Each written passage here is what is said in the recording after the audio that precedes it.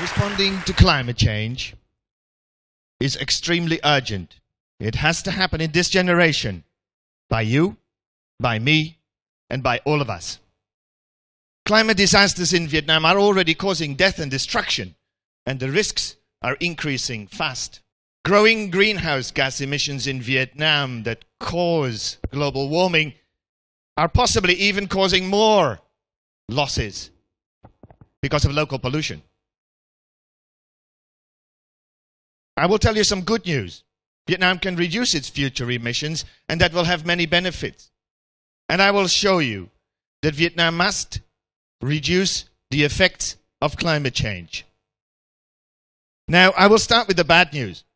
Statistics of the effect of climate extremes show Vietnam as the seventh most affected country in the world, according to, to this index of death and economic loss. Now, these are data for the past 20 years, and some may say, nah, these are just normal disasters. They do not prove that climate change is happening. Sure, but climate change is happening, and it is increasing these risks. I will show you two charts of Jim Hansen, who is also known as a grandfather of climate science, and he is a grandfather concerned about the future of his grandchildren. Now, these charts show that the surface temperature of the Earth is already warmer by one degree Celsius. Now, the agreement reached in Paris, December last year, at the UN Conference of Parties to the Framework Convention on Climate Change agreed to stay well below 2 degrees Celsius average global warming and preferably no more than 1.5 degrees. So we are already incredibly close. And therefore, it is us, this pre- present generation, who must drastically reduce greenhouse gas emissions to prevent what is known as dangerous climate change. Last year, 2015, was the warmest year ever measured. 2016 is on track of becoming even warmer. Now, there was snow in Nghệ last year for the first time in living memory. Now, that snow does not mean that the earth is not warming because it is warming. But it shows that there are extreme climates happening and that there is average global warming. It was extremely cold in Paris for the time of year when we were negotiating global warming. And afterwards, I visited the Netherlands where I grew up and where it was so warm that the trees had started to blossom as if it was spring instead of winter. So, climate change is changing seasons, extremes everywhere. Extreme temperatures, extreme floods, extreme storms, and extreme droughts. It is the worst ever drought and saline water intrusion in the Mekong Delta right now. The Central Highlands and the South Central Coast region are suffering from extreme drought as well. Now, these extremes are associated with what is known as El Nino. That's a natural climate cycle that is happening in a world that is already warmer because of climate change.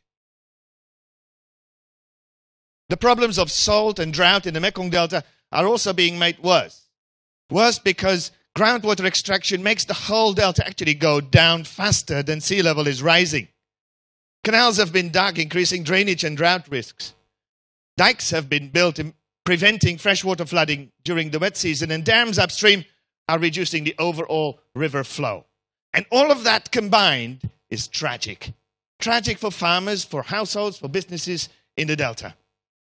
However, if nothing happens, it will be worse during the next strong El Nino in 5, 10, 20 years from now.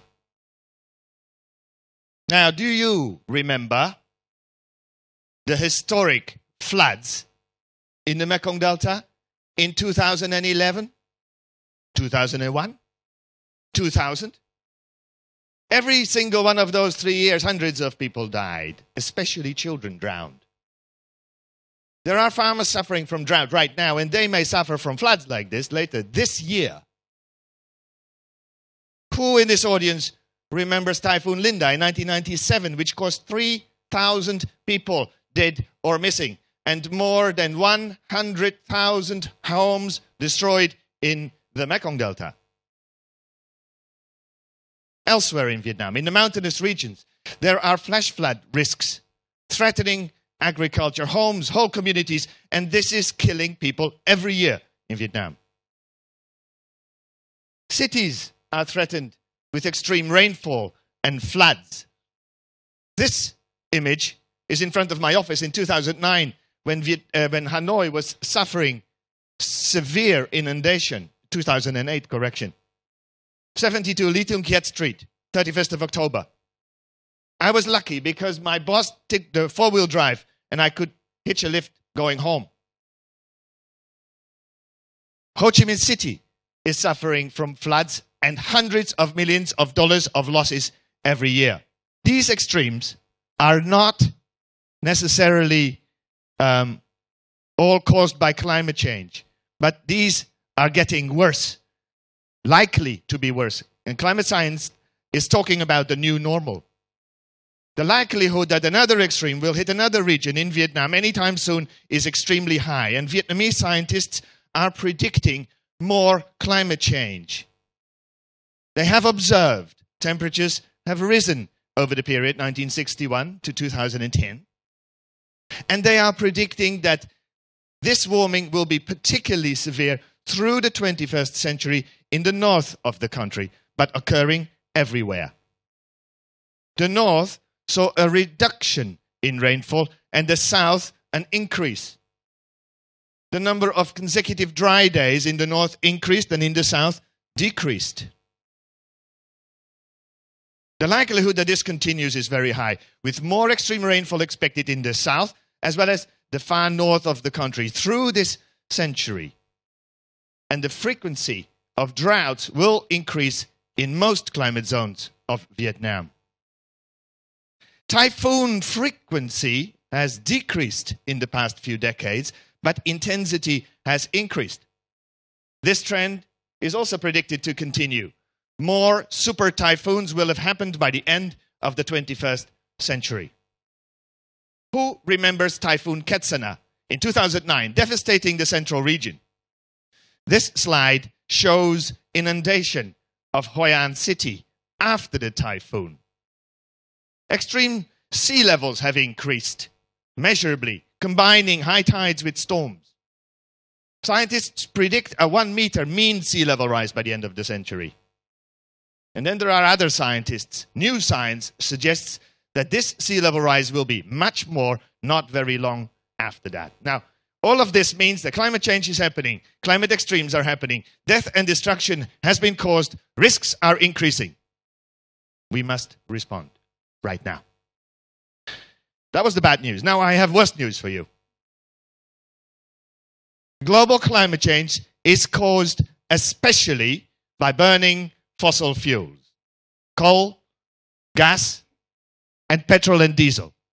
It means that coal is particularly bad for climate change. And this is being increased in Vietnam. Coal mining rips up landscapes. In Quang Ninh, here on the picture, in 2015, heavy rains caused flooding of mines, rupture of a mine waste facility, and it destroyed homes, killed people coal mining causes pollutants affecting crops, reducing farmers' incomes. Some pollutants go into rice grains, poisoning consumers, you. Coal transport causes poisonous dusts along the way. And then, then, this coal is used. It is used in particular in electricity production. The coal fired power plant in Vinh Tan, in Binh Thuan province, has been built recently and caused so much pollution that it resulted in major protests last year, people blocking the highway. The amount of waste produced by this power plant is massive, and there is no good solution for this yet. Nevertheless, the power complex is expanding in coming years, and many more of those coal fired power plants are being built in Vietnam or planned. Now, that means Vietnam is planning for a coal dependent future for more than half of its total power production in decades to come. If all those power plants would be built in Vietnam, the resulting additional air pollution in Vietnam will also cross its borders. It will go outside the country. And if all those power plants would be built, this would result, this air pollution would result in an additional 21,000 premature deaths per year by 2030 compared to 2011. This is a lot more than the deaths of super typhoons and super floods. It is also almost double the number of traffic casualties per year on Vietnam's roads. I would wager that Vietnam must stop planning for coal. It must reduce its future by putting a price on carbon instead of subsidizing the use of coal. Now, I do have some good news for you. Vietnam has many islands and a long coastline, and it is possible to build a lot of windmills, generating wind power. It is also reduce, uh, receiving a lot of sunshine. This means it has a massive potential for solar energy. Vietnam is behind the international trend of building renewable energy based power plants, but it can catch up fast because solar and wind are actually quite cheap to build. They can be built very fast, responding to rising demands. They have almost no negative impact. And they can support the local domestic industry and green and clean jobs. Now, the reason why this is not yet happening is because it looks as if coal is cheap. But solar and wind energy is already cheaper if you include all the costs, the real costs of coal power, like paying hospital bills, state cleaning up, and reduced incomes, and your subsidy to building coal power plants and to building transport infrastructure for coal. Now, renewable energy has other advantages. You can build solar power on rooftops, reducing electricity bills of businesses and households. Water can be heated by, up by the sun. Solar power can also help create affordable power for remote communities and islands that are difficult to connect to the national power grid. Agricultural residues can be used for cooking and for heating in industry. And finally, the transport infrastructure. Electric transport is developing very fast. You can suddenly see motorbikes everywhere around you. Now we want these electric motorbikes, their batteries to be charged with solar power.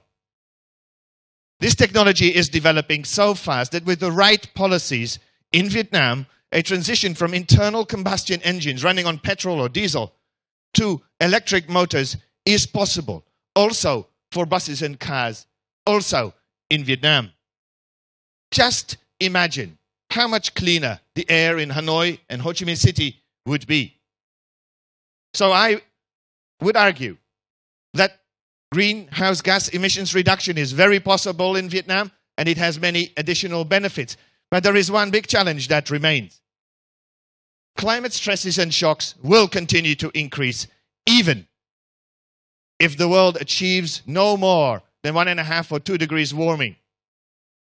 So, therefore, we must adapt to the effects of climate change. That can be done in many different ways in all localities and sectors.